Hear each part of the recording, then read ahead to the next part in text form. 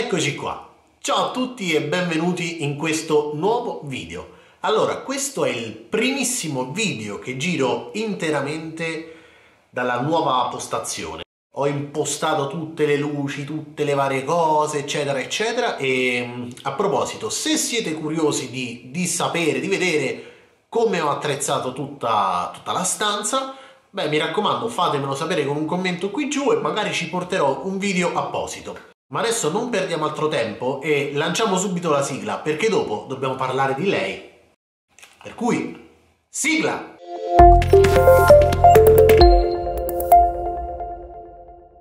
Eccoci qua e ben ritrovati sul canale.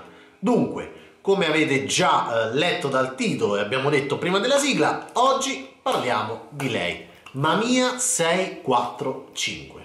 Allora, questa qui è una pietra miliare della storia della fotografia. E io sono veramente contento ehm, di averne una che faccia parte della mia collezione di macchinette analogiche. Voi se siete iscritti al canale già lo sapete che io ho la malattia, ho la fissa per le fotocamere analogiche, le preferisco a quelle digitali, soprattutto quando scatto così per divertimento, ma se non siete ancora iscritti, quindi non lo sapevate questa cosa, beh allora iscrivetevi al canale, attivate la campanellina per ricevere una notifica ogni volta che io carico un nuovo video sul canale. Dicevo, quelli che già mi seguono sanno che io sono fissato eh, con le macchinette eh, a rollino, le macchinette a pellicola. Ho una compattina automatica, ho la Yashica eh, che è una reflex completamente analogica con cui ci faccio delle foto veramente pazzesche, ho la Instax Mini. E questa qui signori è una medio formato, è la Mamiya 645.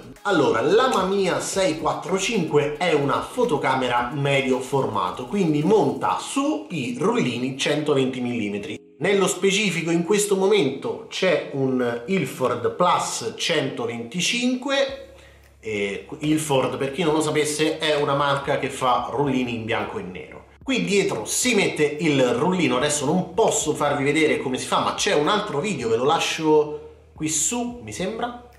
Sì?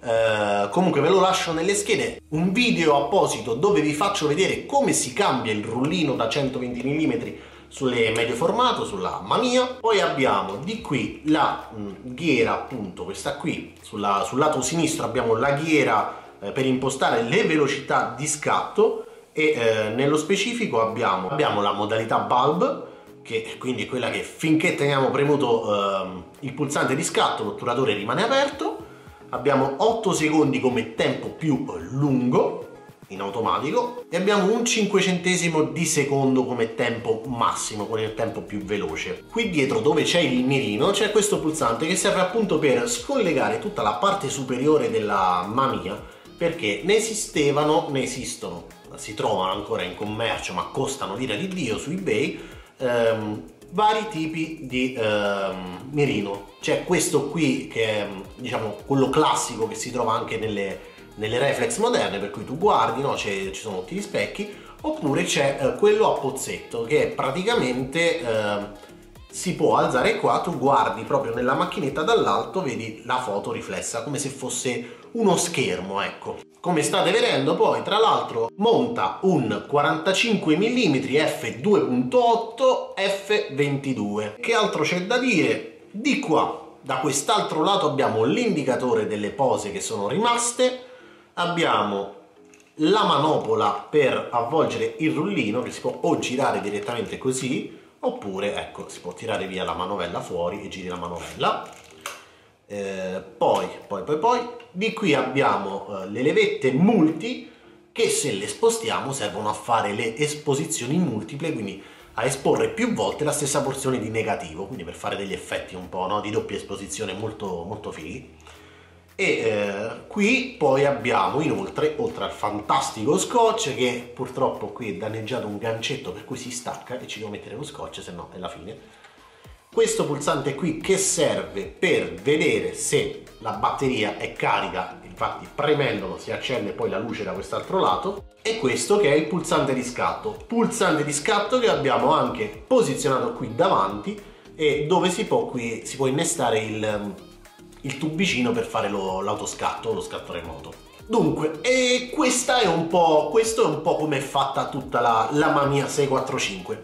Adesso l'appoggio un attimo perché pesa l'ira di Dio e vi dico qualche altra cosa in più. Una cosa molto fondamentale che c'è da sapere su questa macchina fotografica è che è talmente antica che non ha neanche eh, l'esposimetro incorporato. Quindi come cavolo si fa a sapere quali valori bisogna impostare per scattare correttamente?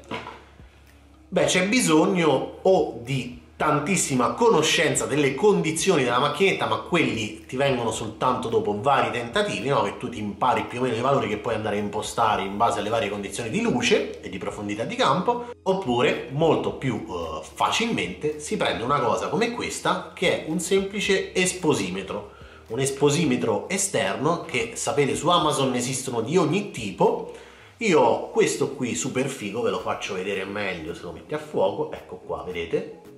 Che come potete notare ha l'attacco lightning. Se vi eh, interessa eh, sapere qualcosa di più su, su questo esposimetro lui si chiama Lumu e vi lascio nelle schede, non mi ricordo mai se di qua o di qua, comunque ve lo lascio nelle schede un video dedicato dove ci ho fatto la recensione è pazzesco comunque, lo innestate all'iPhone e lui vi calcola i valori da impostare su una macchina fotografica. Non è molto che possiedo questa mamia, sono riuscito fondamentalmente a uh, scattare e sviluppare due rullini. Vi dico subito che nonostante la banalità degli scatti che ho effettuato, perché il primo rullino ero in quarantena totale costretto dentro casa quindi ho scattato dentro casa e quello che riuscivo a vedere dal mio balcone. Quindi le foto diciamo che a livello di creatività non sono proprio il massimo.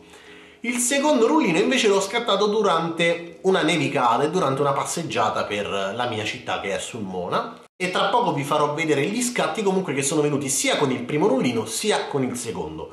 Vi voglio fare due piccolissimi appunti prima di farvi vedere gli scatti che sono, per quanto riguarda il primo rullino, cioè quello che ho scattato in casa, devo dirvi che eh, ha tirato fuori una resa pazzesca. Le foto sono super nitide, sono fighissime, cioè nonostante siano degli scatti banali, a livello di qualità fanno veramente paura.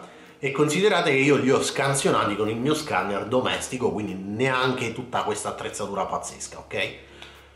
Immaginatevi quindi se eh, li fate poi, li scansionate con uno scanner dedicato apposta alla scansione dei negativi, viene fuori una roba assurda. Per quanto riguarda il secondo rullino invece le foto mm, sono un po' più belle perché insomma le ho scattate in giro, quindi sono un po' più dinamiche, però ho notato che sono molto molto rovinate ma secondo me questo dipende esclusivamente dai rullini perché sto usando dei rullini che sono scaduti negli anni 90, forse anche prima, non mi ricordo, mi pare nell'87 e secondo quanto ho ipotizzato il primo rullino evidentemente si era conservato meglio nel tempo per cui le foto sono venute pazzesche.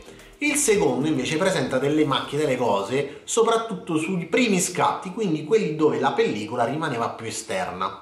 Invece più vado avanti con gli scatti mi sono accorto che gli ultimi scatti a livello qualitativo sono venuti meglio, forse perché poi all'interno la pellicola si era preservata maggiormente, non lo so, questa è stata la mia ipotesi. Ad ogni modo eh, adesso ci ho montato un altro rullino e appena ne trovo comunque uno che non è scaduto, se riesco, o che magari è scaduto ma è stato conservato molto bene, ci farò un altro video dedicato. Allora io credo di essermi dilungato a sufficienza per quanto riguarda questo primo video dedicato alla Mamia 645. Prima di salutarvi però vi ricordo un po' le solite cose con l'aggiunta di qualche extra. Allora, innanzitutto vi invito ad iscrivervi al canale se ancora non foste iscritti ed attivare la campanellina per ricevere una notifica ogni volta che io carico un nuovo video. Vi invito a lasciare un like se questo video vi è piaciuto perché per voi è gratis ma per il canale, per la crescita del canale è davvero molto importante. Vi ricordo che in descrizione trovate tanti link utili, tra cui quello al mio canale Telegram, canale dove ogni giorno posto le migliori offerte Amazon, e soprattutto uno sfondo per il computer e uno sfondo pazzesco per il cellulare. Vi invito poi a seguirmi su Instagram perché lì nelle stories vi tengo aggiornati quotidianamente ed infine ed infine, se la fotografia analogica vi appassiona, vi consiglio di fare un salto anche sul mio profilo Instagram dedicato alla fotografia analogica. Lì ci posto soltanto scatti effettuati con macchine analogiche Trovate sia il link sotto che ovviamente potete anche cercare direttamente su Instagram eh, il nick che esce sovraimpresso in questo momento. Io credo di aver detto tutto, per cui vi lascio alla visione degli scatti e noi ci vediamo in un prossimo video. Ciao ciao!